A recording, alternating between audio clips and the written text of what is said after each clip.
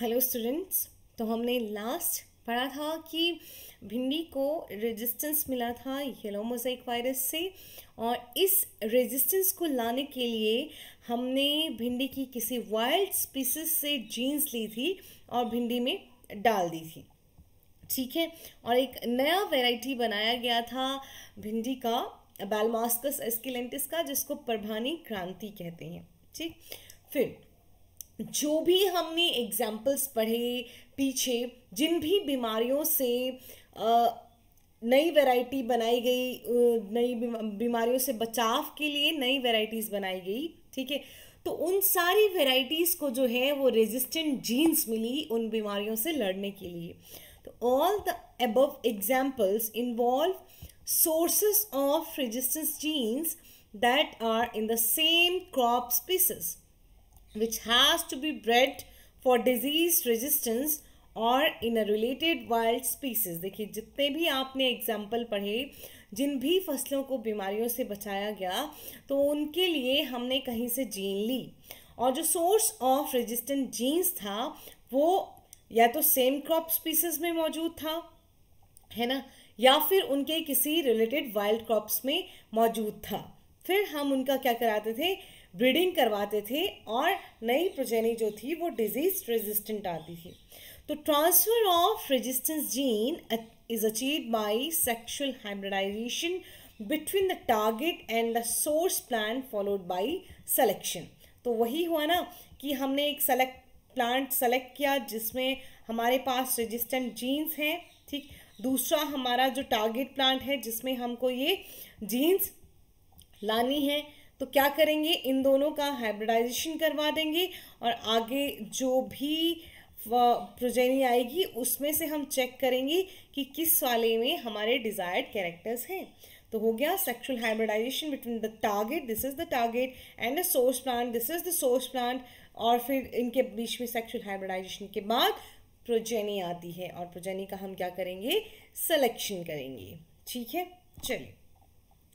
अब है plant breeding for developing resistance to insect pest बीमारियों से तो हमने रेजिस्टेंस दे दिया, लेकिन इंसेक्ट्स का भी तो होता है ना। इंसेक्ट भी बीमारियाँ काउज करते हैं या नहीं काउज करते हैं? बहुत सारे इंसेक्ट्स हैं जो हमारे प्लांट्स में बीमारियाँ काउज करते हैं। तो बहुत ज़रूरी था कि इंसेक्ट से भी क्या मिले? डिज़ीज़ रेजिस्टेंस मिले। ठीक है? तो देखिए। Another major cause for large-scale destruction of crop plant and crop produce is insect and pest infestation. एक और बहुत बड़ा रीज़न होता है कि हमारी जो फ़सलें हैं, वो पूरी तरह से ख़राब हो जाती हैं, बहुत बड़े स्केल पे डिस्ट्रॉय हो जाती हैं और क्रॉप का जो यील्ड है, वो कम हो जाता है वो है इंसेक्ट या पेस्ट के थ्रू जो भी हमारी फ़सल को नुकसान पहुँचाया जाता है वो insect resistance in crop in host crop plant may be due to morphological biochemical or physiological characteristics तो कहते हैं कि इंसेक्ट से रेजिस्टेंस तो दे देंगे लेकिन इंसेक्ट से रेजिस्टेंस के लिए आप होस्ट प्लांट क्रॉप में मतलब होस्ट क्रॉप प्लांट में क्या चेंजेस करेंगे जो आपका फ़सल वाला पौधा है जो इंसेक्ट के लिए होस्ट है उस होस्ट में आप क्या चेंजेस करेंगे? तो मॉर्फोलॉजिकल उसकी मॉर्फोलॉजी को चेंज कर सकते हैं, उसके अंदर केमिकल्स को चेंज कर सकते हैं, या फिर प्लांट का जो फ़ंक्शन है फिजियोलॉजी है, उनको चेंज कर सकते हैं। देखिए hairy leaves in several plants are associated with resistance to insect pest for example resistance to jassids in cotton and cereal leaf beetle wheat देखिए, ये मॉर्फोलॉजी हुआ ना कि बहुत सारे प्लांट्स होते हैं जिनमें हेरी लीव्स पाई जाती हैं और हेरी लीव्स जो हैं वो रेजिस्टेंस देती हैं इंसेक्ट पेस्ट से। कैसे देखिए? एग्ज़ाम्पल के तौर पे कॉटन को जो है कुछ पेस्ट ख़त्म कर सकते हैं जेसिड्स लेकिन कॉटन में क्या है हेरी लीव्स हैं जिसकी वजह से उनको जेसिड से रेजिस्टेंस मिलता है। वहीं सीरियल लीफ बिटल होता है वीट को आ, वो ख़त्म कर सकता है। लेकिन वीट जो है उसमें उसकी लीव्स पे भी कुछ कुछ हेयरी हेयर्स हेरी लीव्स होती हैं ठीक है? मतलब ऐसे खुरदरा सा आपको फील होगा ठीक? तो वो जो है सीरियल लीफ बिटल से रेजिस्टेंस मिल जाती है उस वीट को, जिसमें हेरी लीव्स हैं। तो ये हो गया एक मॉर्फोलॉजिकल कैरेक्टर कि किस तरह से मॉर्फोलॉजी जो है, वो प्लांट को इंसेक्ट पेस्ट से रेजिस्टेंस दे सकती है। जैसे कि हमने पढ़ा कॉटन का कॉटन में हेरी लीव्स होंगी तो जेसेट से रेजिस्टेंस मिलेगा। वहीं अगर वीट में हेरी लीव्स होंगी तो सीरियल लीफ बीटल से रेजिस्टेंस मिलेगा ओके अब in wheat solid stem lead to non preference by the stems of fly and smooth leafed and nectarless cotton varieties do not attract bollworms देखिए। ये भी अब क्या है, ये एक तरह से मॉर्फोलॉजी में ही आ रहा है, देखिए। वीट में अगर स्टेम जो है, वो सॉलिड है, बहुत सख्त है तो स्टेम सॉफ्लाई नाम का जो इंसेक्ट होता है, वो वीट पे नहीं आएगा और उसको डिस्ट्रॉय नहीं करेगा। तो हम वीट के स्टेम को क्या कर सकते हैं? स्ट्रॉन्ग बना सकते हैं सॉलिड बना सकते हैं और स्टेम सॉफ्लाई फिर उसको प्रेफरेंस नहीं देगा वीट पे अटैक नहीं करेगा। वहीं अगर कॉटन की लीव्स जो हैं, वो स्मूथ हैं और नेक्टरलेस हैं तो फिर वो वॉल बॉलवॉर्म्स को अट्रैक्ट नहीं करती हैं। अगर आपको अपने कॉटन को बॉलवॉर्म से बचाना है तो क्या करना पड़ेगा? स्मूथ लिफ्ट लीव्स होनी चाहिए और बॉलवॉर्म में कॉटन में कोई भी नेक्टर नहीं होना चाहिए। तो बॉलवॉर्म्स जो हैं, वो कॉटन की तरफ़ को अट्रैक्ट नहीं होंगे। अब ये तो थी मॉर्फोलॉजी जिसमें किस तरह से मॉर्फोलॉजी जो है, वो इंसेक्ट्स को दूर रखती है और प्लांट को अल्टीमेटली इंसेक्ट और पेस्ट रेजिस्टेंट बना देती है। नेक्स्ट आता है बायोकेमिकल किस तरह से चेंज करता है? हमने पढ़ा था कि बायोकेमिकली भी चेंज हो सकता है। High aspartic acid low nitrogen and sugar content in maize leads to resistance to maize stem borer stem borers जो होते हैं, जो स्टैम को बोर कर देते हैं, ऐसे इंसेक्ट जो होते हैं, उनको हम स्टैम बोरर कहते हैं। लेकिन स्टेम बोरर क्यों मेज के स्टैम में जाएगा? अगर उसमें उनको शुगर नहीं मिल रहा है अच्छा उनको नाइट्रोजन अच्छे से नहीं मिल रहा है, और उनका एक और फेवरेट होता है एस्पार्टिक एसिड जब ये तीनों चीज़ें स्टैम्बोरस को नहीं मिल रही हैं तो वो मेज़ में नहीं जाएँगे और अल्टीमेटली मेज़ जो है, वो स्टैम्प बोरर से रेजिस्टेंट हो जाएगी। तो यहाँ आपको क्या क्या याद रखना है कि स्टैम्प बोरर्स को दूर रखने के लिए क्या ज़रूरी होना चाहिए? I sorry aspartic acid low नहीं होना चाहिए। वो नहीं tolerate stem borers aspartic acid उनको ना पसंद है, पसंद नहीं है। तो एस्पार्टिक एसिड हाई होना चाहिए। Nitrogen and sugar content low होगा तो स्टैम बोरस जो है वहाँ सर्वाइव नहीं कर पाएँगे और मेज से दूर रहेंगे। अब देखिए कि ब्रीडिंग मेथड्स फॉर इंसेक्ट और pest resistance involve the same steps as those for any other agronomic trait such as yield और quality and are as discussed earlier तो आपको इंसेक्ट और पेस्ट रेजिस्टेंस के लिए ब्रीडिंग मेथड यूज़ करना है तो वो बिल्कुल सेम है बिल्कुल सेम है जैसा आपने पहले एग्रीकल्चर के ट्रेड को सुधारने के लिए जो भी मेथड आपने पहले यूज़ किए, वही मेथड्स आप दोबारा यूज़ कर सकते हैं। जैसे कि ब्रीडिंग इंसेक्ट और पेस्ट रेजिस्टेंस के लिए वही आप जर्म प्लाज्म कलेक्शन कर सकते हैं सेलेक्ट फिर आप, देख इवेलुएशन करेंगे, फिर आप हाइब्रिडाइजेशन करेंगे फिर आप सलेक्शन करेंगे है ना? फिर टेस्टिंग होगी एंड देन इनको रिलीज़ कर दिया जाएगा। जो नई वेराइटी आएगी उसको रिलीज़ कर दिया जाएगा। Source of resistance gene may be cultivated varieties germplasm collection of the crop और वाइल्ड रिलेटिव अगेन जो सोर्स होगा रेजिस्टेंस जीन्स का वो कोई कल्टिवेटेड uh, वेराइटी भी हो सकती है जिसको हम उगाते हैं ऐसी कोई वेराइटी भी हो सकती है। या फिर डिफरेंट डिफरेंट क्रॉप से या वाइल्ड रिलेटिव से जो हमने जर्म प्लाज्म कलेक्ट करते हैं, वो भी सोर्स ऑफ़ रेजिस्टेंस जीन हो सकता है।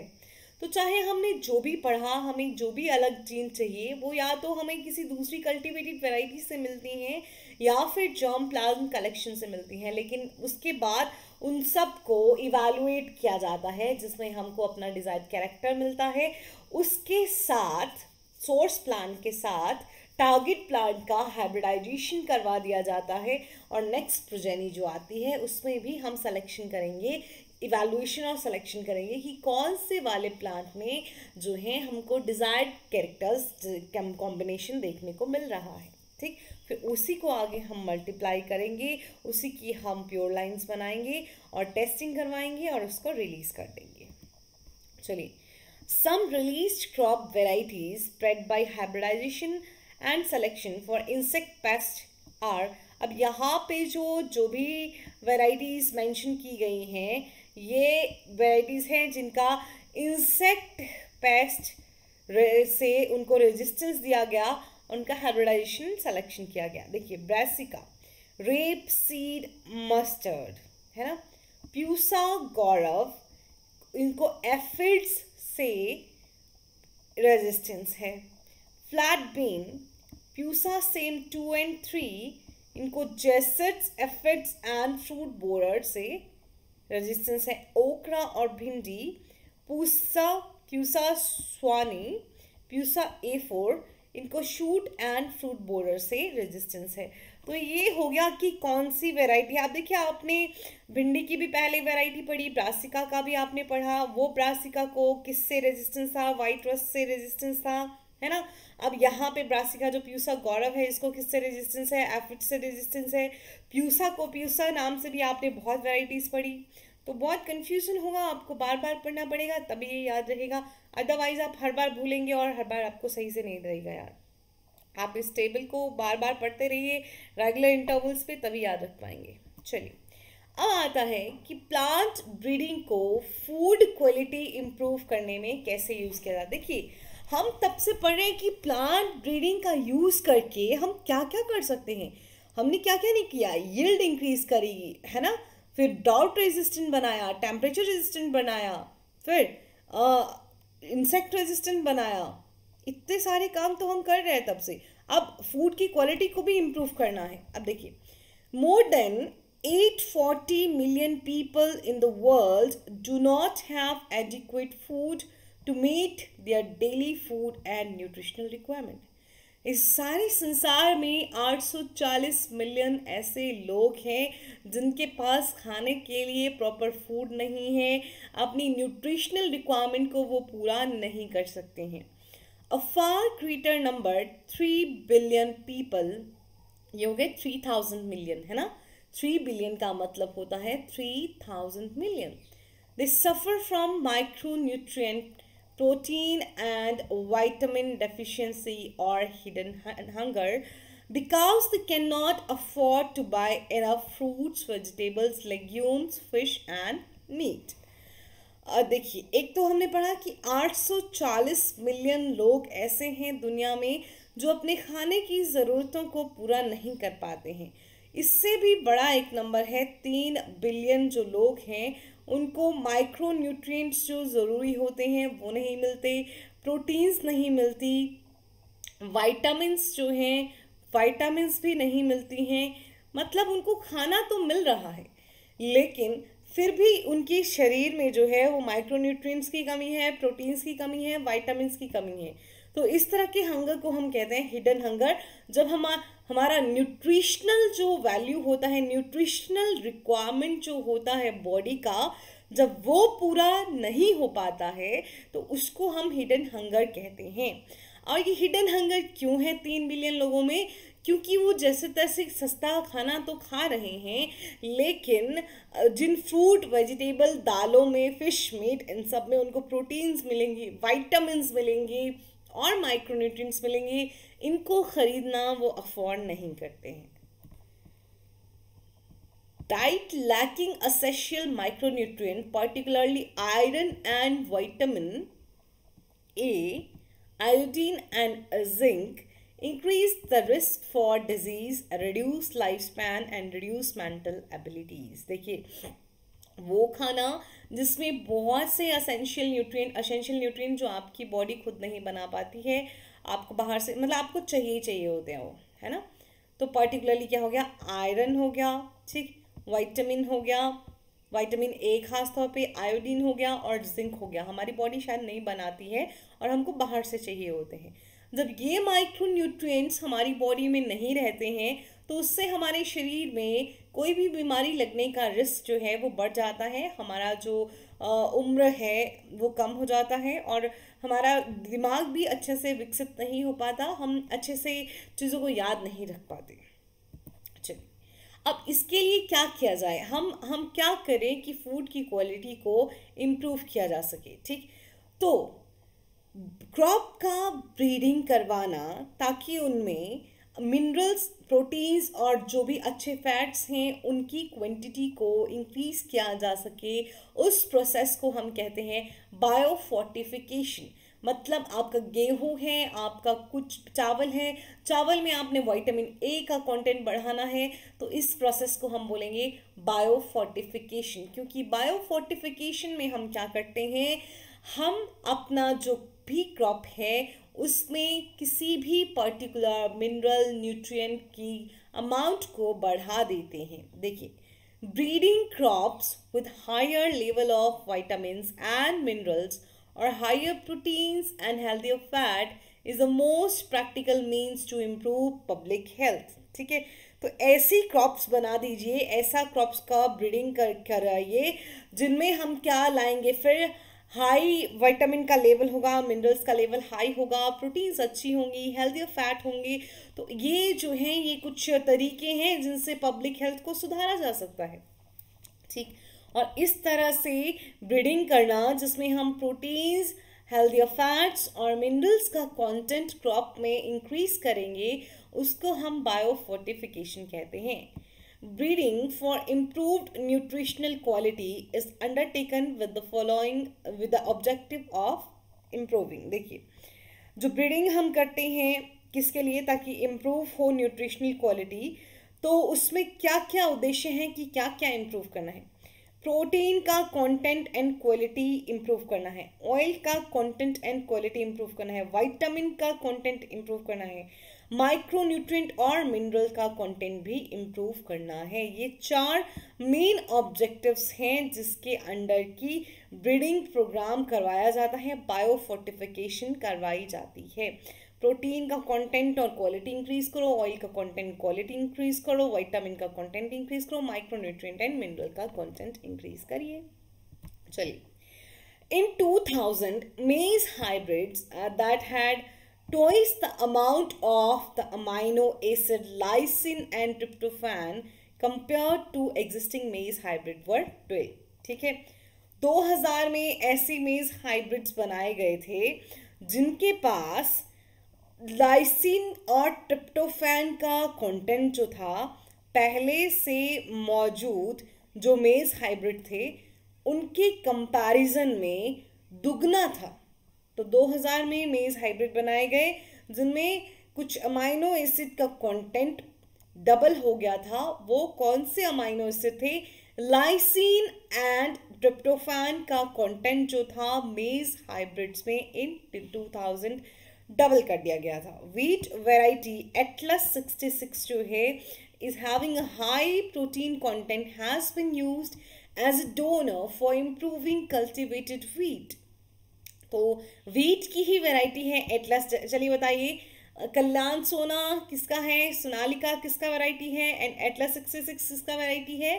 वीट वैरायटी है, ठीक? अब देखिए, जो आपने कल्याण सोना पढ़ा था और सोनालिका पढ़ा था, उनमें तो हाई रेजिस्टेंस है हाई यील्ड वो देती हैं, है ना? एटलस 66 में प्रोटीन का कंटेंट बहुत अच्छा है और आज की जो हम वीट उगाते हैं, उसके, उसको और अच्छा बनाने के लिए, उसमें भी प्रोटीन को सही करने के लिए कौन सा प्लांट से, कौन से प्लांट से हाइब्रिडाइजेशन करवाई गई थी? एटलस 66 को ही एज अ डोनर यूज़ किया गया था। It has been possible to develop an iron fortified rice variety containing over five times as much as iron as in commonly consumed varieties. तो हम आयरन uh, से ऐसा rice भी बना सकते हैं कि जिसमें बहुत सारा आयरन हो। आयरन फोर्टिफाइड राइस की वैरायटी जो है वो डेवलप कर सकते हैं जिसमें कि नॉर्मल जो हम राइस कंज्यूम करते हैं उससे पाँच गुना ज़्यादा आयरन हो। ठीक है? देखिए the Indian Agricultural Research Institute New Delhi ठीक है, याद रखिएगा आई ए आर आई भूलना नहीं है, पूछा जाता है। वहीं आपने इंडियन राइस रिसर्च इंस्टीट्यूट कहाँ पढ़ा था? फिलीपींस में। तो आई ए आर आई कहाँ है? न्यू दिल्ली में Indian Agricultural Research Institute New Delhi has also released several vegetable crops that are rich in vitamins and minerals. ठीक है? तो आई ए आर आई ने बहुत सारी ऐसी क्रॉप्स को रिलीज़ किया है, जिनमें बहुत सारे वाइटामिन एंड मिनरल्स हैं। तो देखिए, अब ध्यान से सुनने वाली बात यह है कि आपको ये याद रखना पड़ेगा।